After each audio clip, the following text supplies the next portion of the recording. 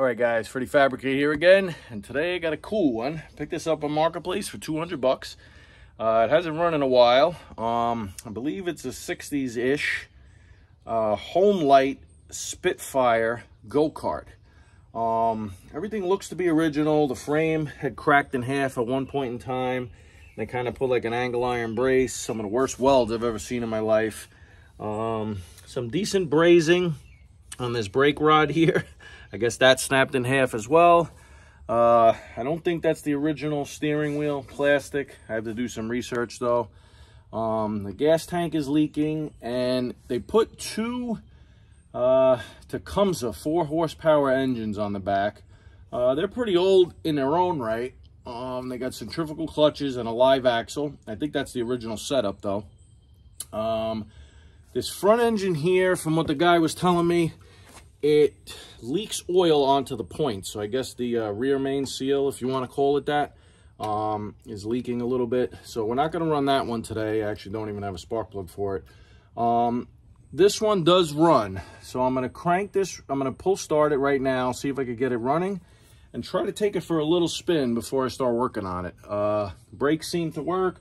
The foot throttle works. The tires are in decent shape. I think they're original. Uh, I'm going to be switching out the rears for the same knobby.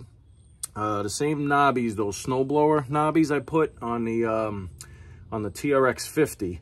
I love those things. They got great cleats on them and they're a very hard compound. Um, so they wear really well. And then the front, I'll just put some little four inch uh, dirt tire, whatever I can find. All right, we'll see how it goes. All right, sounds pretty good.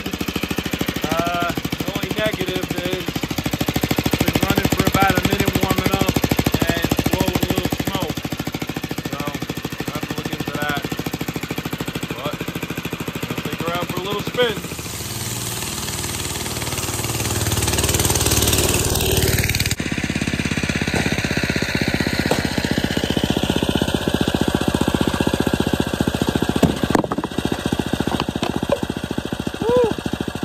They don't make cheap junk go-karts like they used to, fellas.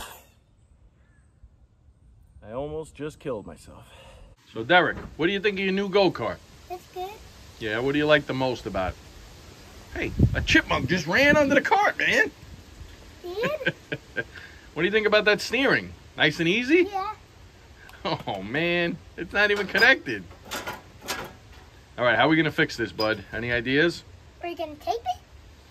Tape it on? Are you gonna glue it? Glue it on? You gonna weld it? I think so. We're gonna have to weld it. All right, let's bring it in the shop. We'll take that bolt off and we'll see if we can weld it back together. Bye guys. All right, Derek, what do you think we need to take this nut and bolt out? A wrench and a plier. All right, let's go get it. We'll be right back. All right, let her rip, buddy.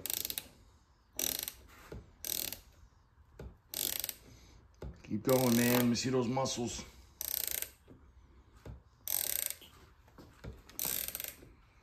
A little bit more.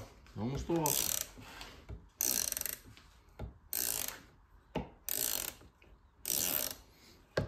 Almost got it. All right. Good job, pal. All right, guys, so we pulled the bolt out, the nut and bolt, right, buddy? Came right out, but what happened?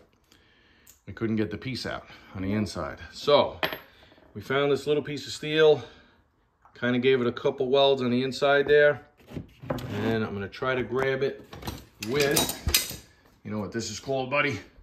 A big wrench. a slide hammer. We're gonna put this on like this. You're gonna hold the steering wheel and I'm gonna yank on the slide hammer. We'll see if we can pull it out. What do you think? Sure. All right. All right, guys. So looks like they did some uh, finagling here. We got one bushing inside another, kind of brazed on. None of it really fit. Um, so great. So Derek and I are probably going to make up a new bushing for this and weld it on to the other piece. All right, so Derek, how many years have you been welding now? Oh, zero years? Okay. How many days? Zero? Months? Minutes? Seconds. All right. So we got a newbie here, ladies and gentlemen. What do you feel about this welding operation we're about to do? How's your confidence Scared. level? little scared? Scared exciting. A little exciting, right? So I was your age when my daddy taught me how to weld. All right, so I'm gonna walk you through what we're gonna do. We gotta make up a piece of steel first, and then we have to weld it to the shaft in the go-kart. So we have to go take apart the go-kart shaft, bring it back on the bench, and then we'll be right back. All right, guys? All right, guys, this is the setup we came up with. We found a piece of bar stock, the same diameter as the steering shaft. Yeah. I V'd them both to a taper, and we put two C-clamps, and I just put little V-blocks in the back of the angle iron there to hold it straight. All right, guys, we got our shaft welded and ground down.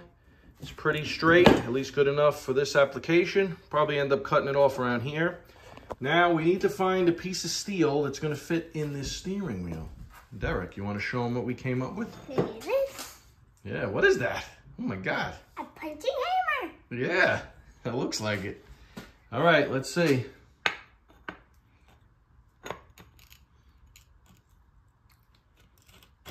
Whoa, man, is that perfect.